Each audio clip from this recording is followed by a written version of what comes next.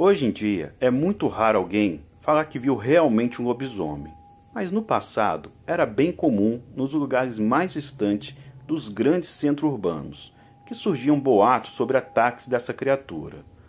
O meu nome é Edna, tenho 54 anos de idade e tenho uma história verídica sobre uma criatura que acredito ser um lobisomem. Essa história aconteceu comigo e meus familiares, que infelizmente hoje alguns deles já são falecidos. No ano de 1970, eu era uma criança pequena e meus pais moravam em um sítio que ficava na região que hoje é chamada de Itãs, um distrito que fica distante 8 quilômetros da nossa cidade, Itapiúna, no Ceará. Naquele tempo, o povo das localidades falavam que esse lobisomem aparecia nas noites de lua cheia, e por isso ninguém queria sair à noite, pois era comum que desaparecessem animais nos sítios e fazendas. A nossa casa era feita de pau a pique, que é uma construção de madeira, cipó e barro. Por isso, não era muito segura, sem contar que de vez em quando uma parte da parede caía e era possível ver através dela tudo o que acontecia do lado de fora da casa. A minha mãe estava grávida da segunda filha e, faltando dois meses para que minha mãe pudesse nascer, teve uma noite na quaresma, uma lua cheia, que eu acordei chorando com os cachorros latindo muito alto. Minha mãe disse que foi por volta de uma hora da manhã. Enquanto ela foi tentar colocar eu para dormir, olhou por um buraco na parede e viu que no terreiro os nossos cachorros estavam coando um bicho feio. Ele era grande e negro. Enquanto cachorros atacavam, ele fazia um barulho muito feio, como se fosse um roncado de porco. Na hora, ele correu no quarto e chamou meu pai e falou que tinha um bicho no terreiro da casa. Meu pai meio que se levantou atordoado de sono e foi ver que raio de bicho era aquele. Quando ele abriu apenas a parte de cima da porta, ele viu que havia um bicho enorme, muito grande, e os cachorros cercavam ele. Ele era muito peludo. O meu pai disse que se arrepiou todo e começou a tremer, e na mesma hora fechou a porta. Até aquela noite, meu pai dizia que não sentia medo de nada, nem de bicho e nem de gente, muito menos de assombração. Mas, ao ver aquela criatura a poucos passos da nossa casa, ele quase desmaiou. Como a lua era cheia, iluminava todo o terreiro, e o meu pai disse que pôde ver naquela hora o bicho mais feio que já tinha visto na vida. Mas, depois de alguns segundos, ele se firmou novamente, correu na despensa e pegou a espingarda. Quando ele abriu a janela e apontou a arma, o bicho se colocou em pé, em quatro patas, e saiu correndo. Deu um pulo, passou sobre a porteira e entrou na mata do outro lado da estrada. Naquele tempo, ele tinha quatro cachorros. Dois estavam bem feridos, mas os dois maiores ainda foram correndo atrás do bicho. Porém, o meu pai raiou com eles e na mesma hora eles voltaram. A minha mãe conta que, pelo barulho que ela escutou, parecia que era um cavalo correndo no meio do mato, quebrando tudo que encontrava pela frente. No outro dia pela manhã, meu pai foi na casa do meu avô Samuel, que morava em Itãs, e falou sobre a visita inesperada que nós tivemos. Então, minha avó, a Melinha, falou que das duas uma, ou foi porque minha mãe estava grávida, ou porque eu ainda era pagã. O problema foi que quando eu nasci, meu pai me prometeu para que meu padrinho, Vilobaldo, me batizasse. Só que meu padrinho tinha saído para trabalhar em Minas Gerais e ainda não tinha voltado.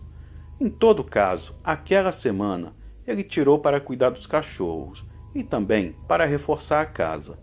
Os cachorros ele deixou na casa do meu avô, pois ele sabia alguns remédios do mato que ajudariam na recuperação dos bichos. Ele colocou travas de madeira para reforçar as portas e janelas e tapou todos os buracos da parede. Na lua cheia seguinte, ele acordou com o barulho dos cachorros, porém era ganido de medo e também com o som de alguma coisa escavando no pé da parede, onde eu dormia, uma respiração bem cansada. Ele levantou e foi nas pontas dos pés, pegou a espingarda e foi sair pela porta dos fundos, para dar volta na casa. Só que tinha um caçoar, com uma farinha deitada dentro dele, e meu pai acabou tropeçando e fazendo barulho. Como o tombo que meu pai levou, o lobisomem saiu correndo, e quando ele se levantou, ainda viu o vulto negro entrando na mata. Ele iluminou com um candeeiro a parede onde o lobisomem estava escafuando e viu que já não tinha mais o barro. Na parede ficou só a parte das varas e do cipó. No outro dia, meu pai pegou minha mãe e eu e fomos para a casa do meu avô. Ele disse que enquanto não me batizasse, a gente não voltava para nossa casa, pois aquele bicho poderia me matar. No mesmo mês, a minha irmã nasceu. Todo mundo que morava no distrito ficou sabendo. Muitos dos amigos do meu pai foram na casa do meu avô tomar o xarope. E entre as pessoas tinha um homem chamado Mané Vermelho, que morava em um sítio do outro lado do riacho. Meu pai disse que o homem não tirava os olhos de minha irmã, e em certo momento viu ele mordendo os beiços, como se estivesse saboreando. Meu pai cutucou meu avô e disse: Olha lá, pai, mané vermelho, ele deve ser o lobisomem. Assunta como ele olha para minha nenê. Meu avô achou estranho pelo fato dele conhecer Mané Vermelho desde quando os dois eram molecotes mas como ninguém conhece realmente quem são as pessoas, eles se aproximaram do homem e puxaram conversa. Na prosa, meu pai jogou um verde para colher maduro, mas Mané se fazia de desentendido. Lá pela boca da noite, todas as visitas foram embora, ficando apenas as pessoas da casa. E naquela noite eles ouviram barulhos, como se fossem galopes e sons de uivos vindo da mata no fundo da casa. A casa do meu avô era bem mais segura que de meu pai. Ela era de tijolo e ainda tinha na casa vários homens. O meu avô, meu pai, meu tio Reinaldo, que na época era um rapaz solteiro e muito forte. Não demorou muito. Antes da meia-noite, eles escutaram um rosnado no quintal. Mas dessa vez, meu pai estava decidido a acabar com aquela aflição de uma vez por todas, e por isso abriu a porta da cozinha e foi logo atirando. O tiro acertou em cheio.